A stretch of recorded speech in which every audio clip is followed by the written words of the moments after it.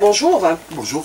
Alors nous sommes à la veille de la nuit du doute, prévue demain. Probablement le premier jour du mois de carême serait euh, pour jeudi. Alors au moment où beaucoup de nations euh, sont formelles, le mois de sacré de Ramadan, ça sera jeudi. Nous, nous restons toujours dépendants de Ru'yat Tubut Hilal Ramadan, c'est-à-dire le croissant lunaire. Pourquoi sommes-nous toujours dans cette situation? Est-ce qu'on ne peut pas s'appuyer sur les moyens de euh, technologiques de telle sorte à définir le jour exact du mois sacré?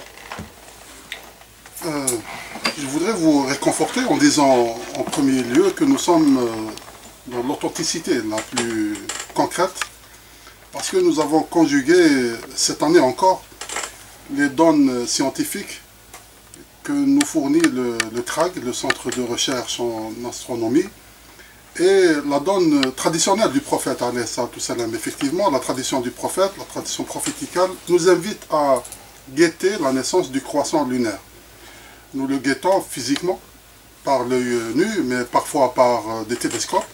C'est autorisé juridiquement, c'est autorisé dans la religion de l'islam. Mais nous conjuguons à chaque fois cela avec la danse scientifique. Et lorsque la danse scientifique atteste qu'il est impossible de guetter, de voir la naissance du croissant lunaire, on se réfère à cette danse scientifique et on ne statue pas sur la, naissance et, le commencement du jeûne. Cette année, il y a eu une divergence entre l'Algérie, entre autres, et le monde oriental. Le monde oriental considère que mardi, c'est-à-dire ce, jour-ci, est le 29, le 29e jour du, mois de Chaban. Or, pour l'Orient, c'est cette nuit qui est la nuit du doute. Euh, les orientaux vont guetter la naissance du croissant lunaire euh, cette nuit. Nous savons par la danse scientifique que le croissant lunaire qui va naître réellement par la conjonction aujourd'hui à 15h, 6 minutes horaire algérienne, et euh, n'est pas visible à l'œil nu ni avec les télescopes euh, euh, aussi modernes qu'ils soient aujourd'hui.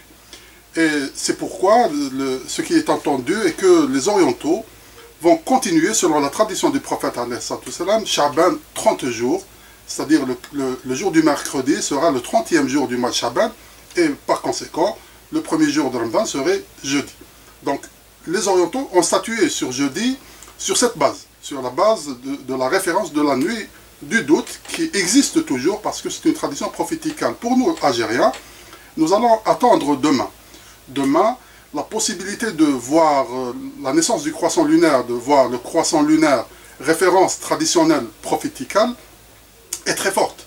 Les Algériens pourront le voir à l'œil nu s'ils le contemplent, s'ils le guettent, et la danse scientifique nous conforte. Nous sommes carrément dans la tradition prophéticale, nous sommes carrément dans les danses scientifiques et nous nous référons à l'authenticité du peuple algérien. Mais est-ce qu'on peut considérer, partant de vos déclarations, à partir du moment où le 30e jour du mois de Chaban, c'est demain, est-ce que c'est Ramadan jeudi? C'est plus probable à 95% demain, demain, pour l'Algérie, selon les danses scientifiques, c'est le 29e jour. Demain, mercredi, c'est le 29e jour du mois de Chaban. C'est la nuit du doute selon le précepte, le choix algérien, qui se base sur, euh, sur euh, des données scientifiques qui nous émanent, je le disais tout à l'heure, euh, à partir du, du, CRAC. Et demain, la possibilité de voir le croissant lunaire est très forte. Je peux statuer auparavant, je peux dire que à 70, 75%, j'allais dire 90%, le mois de Ramadan serait jeudi. Il ne sera pas vendredi. Parce que toutes les données scientifiques se réunissent et se conjugue avec la tradition du prophète pour nous dire que Ramadan, sera jeudi, Inch'Allah, 18 jours. Alors, mais ce n'est pas la première fois que ce type de divergence entre nous et les pays du Moyen-Orient euh, soit soulevé. Il y a eu déjà des divergences par le passé par rapport à la fixation euh, de Waqfat Arafat pour euh, l'Aïd. il y a eu aussi d'autres divergences. Est-ce qu'on peut considérer qu'aujourd'hui, il y a un, fossé qui se creuse entre nous et eux? Un fossé, non, c'est un combat perpétuel entre la science, entre la, raison et la tradition. Euh, en Algérie, nous avons pu conjuguer. Nous n'avons pas pris la décision unilatéralement. Nous l'avons prise dans l'enceinte d'un conseil international, un conseil islamique international, à lequel l'Algérie a participé. D'autres pays ont participé. Mais la divergence existe parce qu'il y a des choix à faire. Il y a des choix à faire. Et lorsque vous avez la conjonction, c'est déjà la naissance du nouveau mois. Est-ce qu'on doit considérer le lendemain comme étant le premier jour du, lendemain du, mois euh, d'après? Ou est-ce que nous devons attendre la vision réelle par l'œil nu ou par le télescope de la naissance, de la naissance euh, du croissant? En Algérie, nous avons opté à cela. Euh, c'est une décision qui a été prise par d'autres pays orientaux, quelquefois. Mais il y a actuellement un alignement que nous remarquons. Un alignement sur la décision d'un pays bien, bien spécifié dans l'Orient, en Orient, c'est un choix que l'Algérie ne partage pas. L'Algérie ne le partage pas parce que nous avons la tradition, nous avons la référence religieuse nationale, nous avons le rythme malikite, nous avons les traditions, la tradition authentique du prophète qui nous invite réellement à ne pas suivre, mais à guetter et à inviter les gens à guetter la naissance du croissant lunaire. Et à chaque fois qu'il y a euh, une, une, attestation, qu'il y a un témoignage d'une personne ou d'un groupe de personnes qui prétendraient avoir vu le croissant lunaire, nous nous référons immédiatement vers la, danse scientifique. Si elle le certifie, c'est le commencement du nouveau mois. Si elle, si elle ne le certifie pas, ce n'est pas le nouveau mois. Et, nous, nous, nous orientons vers la continuation de 30 jours du mois actuel. Alors, le mois de Carême, c'est le mois de la rahma, de la tolérance et les principes de l'islam. Mais certaines personnes versent pendant cette période dans une sorte d'extrémisme, d'intolérance, de la violence et des excès. Quel est votre commentaire par rapport à ces comportements qui changent totalement des Algériens pendant ce mois de sacré de oui, c'est l'engouement quelquefois, mais c'est aussi, le, aussi le, les excès. L'excès dans la pratique de la religion de l'islam, euh, est connu dans la tradition du prophète, c'est lui-même qui a remarqué que certains de ses compagnons se mettaient sous le soleil et ne se réfugiaient pas de ce soleil, qui se mettaient toujours debout sous le soleil et ne s'assiedent pas, qui, qui, qui jeûnaient en continuité sans rompre le jeûne durant 2, 3, 4 jours. Et c'est le prophète de l'islam qui est sorti vers ses compagnons pour leur, leur dire, moi, en tant que prophète, je jeûne et je rends le jeûne, je mange et je, jeûne, je fais la prière, mais je dors aussi la nuit, pour les inviter à la modération, au juste milieu. La religion de l'islam, lorsqu'elle est pratiquée par la raison du juste milieu, lorsqu'elle est pratiquée de cette sorte, lorsqu'elle est pratiquée par un, tempérament modéré, on s'assure de la continuité de notre religiosité. Et lorsqu'on tend vers les extrémismes, c'est généralement la rupture. Or, la rupture est une négation de l'islamité. Et c'est pourquoi, lorsque, lorsque advient le, le, mois, le mois béni de cette Ramadan, généralement le discours officiel, le discours des cadres de mon ministère euh, sur les masses médias, c'est d'appeler les gens à la modération. Et appeler les gens à la modération et de désamorcer, si vous voulez, les différends et les divergences. Euh, je cite un exemple. Euh, par, euh, de coutume, euh, l'administration gère la prière des pauses, salat tarawih. L'administration gère le vécu, le vécu des, des, fidèles dans leur mosquée d'une façon administrative. Cela a donné naissance à un islam officiel et un islam d'opposition et de résistance. C'est-à-dire, en termes clairs En termes clairs, nous, euh, le, la, la, gestion administrative de la chose religieuse a invité les uns et les autres à se mettre en opposition, à agir en opposition par rapport aux décisions de l'administration. Et ça nous a donné un islam réel, entre guillemets, euh, authentique, toujours entre guillemets, exercé par euh, euh, les gens en dehors de la sphère officielle. Et ça a donné aussi l'émergence d'un islam dit officiel. Or, l'islam, est unique, il n'y a pas deux islams.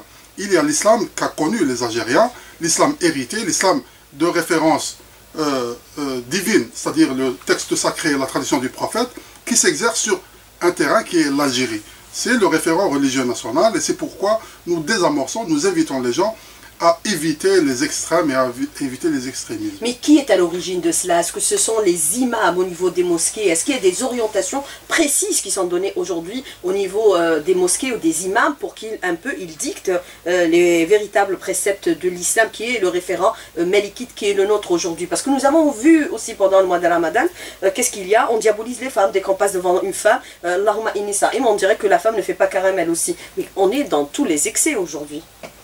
Oui, c'est un des aspects, c'est un des aspects des excès. Il y en a tellement, tellement d'autres. La repentance, euh, en vérité, c'est la modération, c'est le juste milieu. La repentance, c'est de revenir vers le Tout-Puissant. Le mois béni de Ramadan, c'est une occasion de revenir. Revenir vers quoi? Revenir vers le juste milieu. Ce n'est pas de, de, passer d'une rive extrémiste dans le, dans le, le refus de l'islam vers une, une autre rive extrémiste dans l'exercice de l'islam. La modération, c'est la continuité. Et, c'est pourquoi, par définition, la modération, ce n'est pas un point dans un cercle. La modération, c'est l'exercice de l'islam tel qu'il s'exerçait par nos aïeux, qu'ils s'exerçait par les compagnons du prophète. Et les compagnons du prophète ne faisaient pas dans l'extrémisme, ne faisaient pas dans l'engouement le, et, et, le, le, le, surplus, j'allais dire. L'excès. L'excès l'excès de l'exercice de, de, de, de, la foi vous posez, mais également il y a énormément de questions d'auditeurs qui nous ont contactés sur notre page Facebook. Nous allons essayer d'y répondre le plus rapidement possible. Mais d'abord, je voudrais revenir un peu sur euh, le mois sacré de Ramadan par rapport à certains excès. Justement, parmi les excès, c'est le gaspillage, alors qu'il y a une ayah qui dit Kulu washrabu wa la c'est-à-dire ne gaspillez pas. Et certains ne semblent pas euh, y tenir, euh, tenir compte un peu de ce qui est dit dans la religion. C'est la ruée actuellement vers les marchés pour s'approvisionner durant le mois de Ramadan. Quel est votre commentaire sur cette question et ce comportement euh, effréné pendant, de consommation effréné pendant ce mois sacré? Non, mon commentaire, c'est... La religion, c'est pas... C'est d'appeler mes concitoyens à, à, se soumettre à cette prescription divine. C'est le Tout-Puissant qui le dit. C'est une ayah, c'est un verset coranique.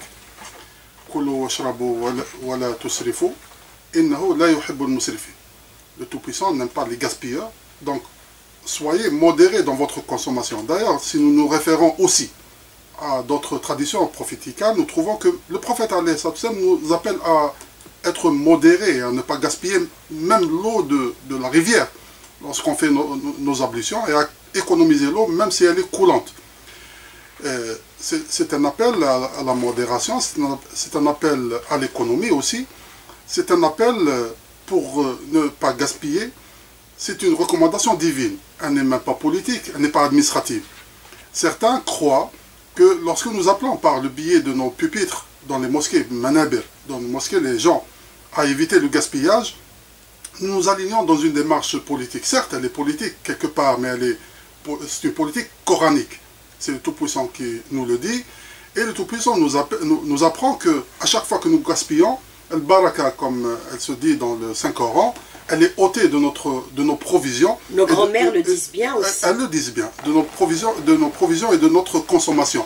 C'est-à-dire on mange mais on n'est pas, pas rassasié et on a assez d'argent mais nous ne sommes pas contents, nous ne sommes pas joyeux, nous ne ressentons pas le bonheur, par, euh, euh, même, avec la, même avec la richesse. Cela étant dit, je voudrais aussi rappeler que nous vivons une époque, une période qui est un peu difficile financièrement la chute du, prix du baril de pétrole nous interpelle aussi à, une, à un deuxième niveau d'économie et, pour éviter le gaspillage. Euh, et nous devons apprendre que le pétrole et le gaz que nous vendons, nous l'achetons quelquefois à prix de devise forte du blé. Ce blé est, transformé en, pain. Le pain est, la denrée alimentaire la plus jetée, la plus gaspillée dans notre pays. Euh, parce que nous avons faim, parce que nous succombons à la tentation, nous allons vers le boulanger pour acheter une multitude de variétés de pain que nous allons jeter ultérieurement. Nous sommes en train actuellement d'appeler par, euh, en nous référant au texte coranique, à la tradition du prophète à éviter tout cela et à penser, lorsque nous euh, rassemblons les ingrédients de notre ftor, à penser au voisin qui n'a pas les moyens, à mettre dans le, dans le, le couffin de la solidarité euh, euh, une, une, boîte de, de, café, de, spaghettis ou de macaroni pour euh, subvenir, pour être solidaire avec ceux qui en ont besoin. Et qui n'en ont pas les moyens. Et qui n'en ont pas les moyens. Mais justement, par rapport à cette question, vous allez appeler les mosquées à, à se solidariser avec les plus démunis on le fait déjà. On le fait déjà par... Sondok Zakat. Sondok Zakat, mais, Zakat, premièrement, mais aussi le colis de Ramadan, ce qui était appelé auparavant le koufin de Sidna Ramadan, actuellement c'est un colis. Et les mosquées... Euh, Vous allez le faire cette année On le fait déjà, on le fait. Je, reviens, euh, je reviens récemment de, de la wilaya de Annaba où j'ai assisté au lancement de 1000, de colis au niveau de la wilaya. Mais aussi, nous allons intervenir parce que nous avons ôté ou retardé ou, différé le, le, le prêt bonifié du fonds de la zakat l'ensemble de la récolte, de, de, la collecte de la zakat est orienté vers les plus nécessiteux et les plus besogneux. Et c'est pourquoi nous allons arriver à donner la deuxième tranche pour les besogneux durant le mois béni de ce Ramadan. Il ne risque pas d'y avoir des détournements parce que c'est un mois aussi où les coups fins de Ramadan sont détournés partout. Nous travaillons en, étroite collaboration avec M. Le Wali, premièrement. Tout cela se fait sous l'égide de M. Le Wali. Cela se fait aussi en solidarité, en concertation et euh, en groupe. Ce groupe est jalonné euh, piloté par le ministère de la Solidarité nationale. Les mosquées ne font que contribuer dans une démarche nationale.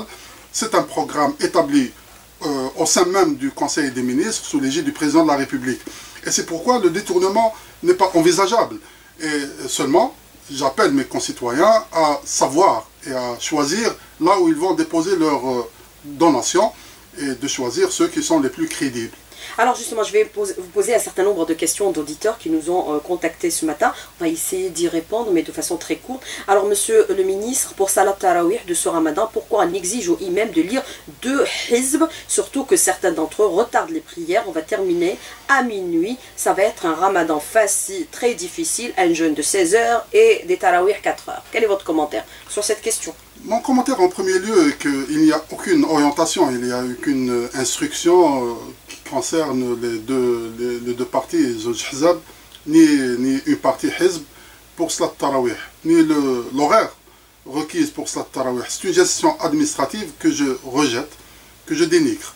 Mais il y a aussi une instrumentalisation médiatique. Actuellement, euh, des, journaux sont en train de dire qu'il y a des instructions qui sont sorties du ministère des Affaires religieuses qui invitent les gens, qui imposent aux gens une façon de pratiquer, une horaire pour pratiquer.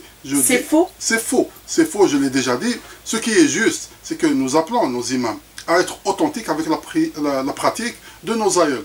Nous pratiquons Slat Tarawih, nous pratiquons la prière des pauses depuis l'indépendance concernant l'Algérie indépendance. Nous, nous, la pratiquons depuis la venue de l'islam sur, sur nos terres, depuis Aqba ben Nafer. Nous avons toujours pratiqué cette cette prière des pauses de la même façon, c'est-à-dire en lisant deux parties Hizab chaque nuit. C'est la tradition, c'est le prophète lui-même qui révisait le Saint-Coran révélé durant le mois sacré de Ramadan, l'entière révélation avec l'archange Gabriel. C'est la continuité, nos aïeuls, nos grands-parents ont choisi de perpétuer cette tradition en lisant tout le Saint-Coran durant ces Ramadan. Alors rapidement aussi sur cette question, monsieur le ministre, je suis étonné qu'en Algérie, il existe des mosquées administration, ouverture juste euh, avant la prière de 5 minutes et fermeture 5 minutes après. Quel est votre commentaire? Nous dénigrons ces agissements. Cela reflète que l'imam est, absent de sa mosquée. Lorsque l'imam euh, est présent dans sa mosquée, il est contraint, il est appelé à l'ouvrir durant toute la journée. Seulement, je dois dire que l'exception existe. Lorsque cet imam n'a pas une personne qui peut lui succéder, il serait contraint quelquefois de la fermer, de fermer, donc, euh, de fermer sa mosquée. Euh, mais la directive donnée aux imams, c'est d'ouvrir la salle de prière, d'ouvrir les classes pour l'apprentissage du Saint-Corps. Alors que pense Monsieur le ministre des scandales sur le détournement de la zakat dans les mosquées? Il n'y a pas de détournement de la zakat dans, dans les mosquées, ni dans, dans, dans aucune de nos mosquées je, dois, je dois rappeler, je dois dire, je dois divulguer. Une réalité, c'est que la collecte d'argent dans l'enceinte de la mosquée est contrôlée par une multitude d'organes, entre autres les services de sécurité, en plus de l'association qui représente la société civile, l'imam qui est un officiel, c'est un fonctionnaire de l'État, les mass médias qui sont attentifs à tout ce qui se fait dans la mosquée, mais aussi ceux qui déposent leur argent, ceux qui donnent leur argent, ils sont tous euh, des contrôleurs euh, potentiels de ces agissements. Et les rapports que je lis confortent ma démarche, confortent que tout l'argent collecté au profit de la zakat va vers les nécessiteux à raison de 87,5%. L'autre huitième, c'est pour la gestion du fonds de la zakat et l'entière rentre, si vous le permettez, de la collecte de l'argent vers, vers la mosquée pour la construction et la réhabilitation des mosquées. Alors il y a un auditeur qui a réagi instantanément à votre déclaration à l'instant. Il dit c'est pas dans tous les cas parce qu'il faut contrôler et surveiller plus, euh, de façon plus rigoureuse. Alors il y a un autre auditeur qui a voulu faire un jeu de mots que je trouve quand même assez intéressant. Pourquoi il y a le doute dans la nuit du doute? En vérité, il n'y a pas de doute dans la nuit du doute. Il n'y a, il n'y a nullement de doute dans la nuit du doute. La nuit du doute, c'est une tradition, je le disais tout à l'heure. Euh, elle est appelée ainsi, Laylat. Euh, elle a été appelée ainsi à partir, de, de, de, l'avènement de l'islam. Actuellement, nous sommes en mesure de contrôler, de savoir euh, à la seconde près quand est-ce que naîtra le, croissant lunaire de Ramadan. Seulement, la tradition le, veut ainsi. C'est l'engouement sociétal c'est les familles, c'est les pères de famille qui sortent à la société pour guetter le, croissant lunaire. C'est l'ambiance de Ramadan. Et je ne veux pas arriver à une numérisation du, du, jeûne, ni une numérisation de, de, la prière. Nous restons dans l'authenticité prophéticale, mais en vivant notre époque et notre contemporain scientifique. Alors, euh, j'ai une question qui est un peu spécifique. Je ne sais pas si vous pouvez y répondre, mais rapidement sur celle-ci. Est-ce que vous, avez une idée de ce qui se passe dans la mosquée de, Majlis, euh, de Masjid al-Nour Apparemment, c'est quelqu'un qui veut dénoncer certaines pratiques dans la commune de Chiraga. Absence totale de Dourous, orientation religieuse durant les jours de la semaine, conformément à vos propres instructions, y compris l'absence répétée de l'imam en question pour accomplir la prière aux, fidèles. Le muaddin, le muazzin euh, de cette mosquée est un retraité, il a une double rente. Et autre question qui est soulevée, c'est qu'il dit aussi qu'il euh, y a un espace qui est euh, consacré à la ruqya. Est-ce que c'est toléré? Ce n'est pas toléré. Ce n'est pas toléré, c'est un cas d'ailleurs... Euh, ça se pratique beaucoup dans beaucoup de mosquées, la ruqya. C'est prohibé actuellement. Nous avons, nous avons une instruction qui oblige les imams à éviter de la, la surtout celle rémunérée dans l'enceinte de la mosquée, dans l'école coranique, et même dans le, les, appartements d'astreinte. Euh, c'est prohibé. La gestion de, la mosquée, bien sûr, il y a généralement des dérives, mais comme vous le remarquez, la société, elle est très vigilante, elle nous interpelle.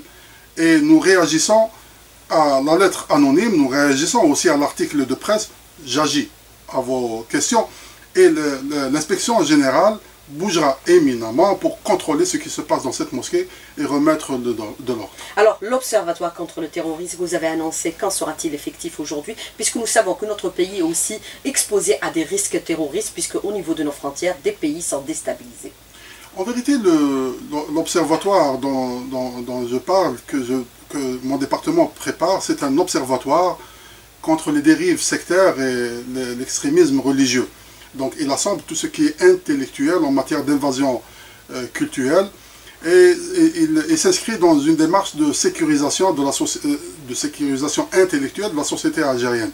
Nous avons remarqué que tous les efforts que nous avons fournis au niveau du département des affaires religieuses euh, concernant les mosquées, les écoles coraniques et les zaouïas n'a pas suffi.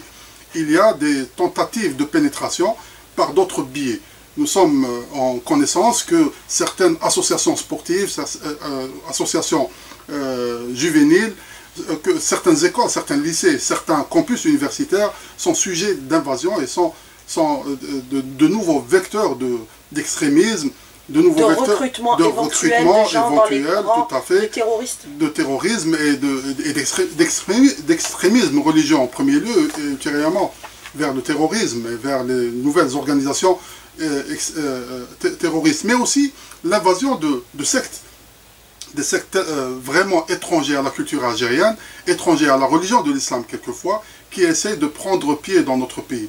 Ce, cet observatoire qui a eu l'aval de principe de la part de M. le Premier ministre va être soumis éminemment à M. le Premier ministre au sein du gouvernement pour le débattre et pour choisir la meilleure des, des formes à donner à cet observatoire, qui n'est pas un observatoire de lutte, c'est un observatoire de veille, d'analyse et de proposition.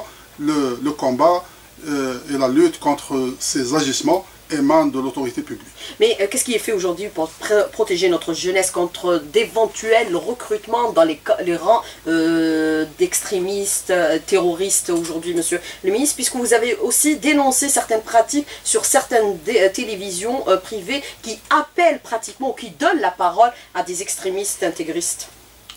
Écoutez, le, à l'origine de notre drame des années, durant les années 90. le- en, en- en premier lieu, ce que nous, nous faisons, c'est de rappeler aux Algériens qu'ils ont une référence religieuse. Nous avons un référent religieux national. Nous avons hérité d'une façon de pratiquer l'islam qui est très authentique, qui jaillit de Médine, qui jaillit de l'école du prophète. Mais au-delà de la sensibilisation, ne faut-il Au- pas au- agir aujourd'hui? Au-delà de la sensibilisation, c'est de rappeler à chaque fois que nous avons un référent pour dire que toute tentative de déstabi- de déstabiliser cette, cette référence, de déstabiliser ce référent religieux, toute tentative de remettre en cause les choix fondamentaux de la société algérienne est une tentative d'une invasion et d'une euh, pénétration dans l'enceinte intellectuelle des Algériens. Certains Et- considèrent que le danger c'est le wahhabisme, vous êtes d'accord entre autres, entre autres, pourquoi, Le salafisme, pourquoi je, ces- je vais, je vais le dire pourquoi, et, et- et- et je, je- je vais reconduire l'analyse de Abdelhamid Ben Badis, qui commentait le wahhabisme et qui disait que le wahhabisme est bénéfique pour l'enceinte dans laquelle il a évolué. Il est bien pour le peuple dans lequel le wahhabisme est né, mais il ne l'est point dans d'autres sociétés qui a, qui a d'autres traditions. Notre tradition, c'est le référent religieux national. Nous respectons le wahhabisme lorsqu'il est pratiqué dans, son, dans sa sphère et que les autres respectent notre malikisme et notre diversité parce que nous avons aussi les ibadites qui partagent avec nous cette, ce- cette parcelle de- de- du- monde. Mais euh, ce que nous faisons, c'est d'immuniser. L'immunisation et la sécurisation intellectuelle passent par le message, par le discours, par le dialogue et par euh, l'appel que nous diffusons, que nous, que nous faisons actuellement vers l'autorité de régulation pour contrôler ce qui se dit en matière de religion sur tous les mass médias. Pour Euh, interdire des tribunes à ces pour prédicateurs interdire, intégristes. pour, inter- pour interdire ces, ces pupitres pour des chirs autoproclamés, pour des, des prédicateurs non formés, et, mais aussi pour que l'autorité inter- euh, euh, intercède ou euh, s'implique dans la sécurisation numérique de le- le- l'intellect algérien. Monsieur Mohamed Issa, merci d'avoir répondu à nos questions et d'avoir été en direct avec nous dans l'émission, l'avant-dernière de cette saison. Merci beaucoup, Sahamdan et Sahamdan, tous les Algériens. Merci beaucoup.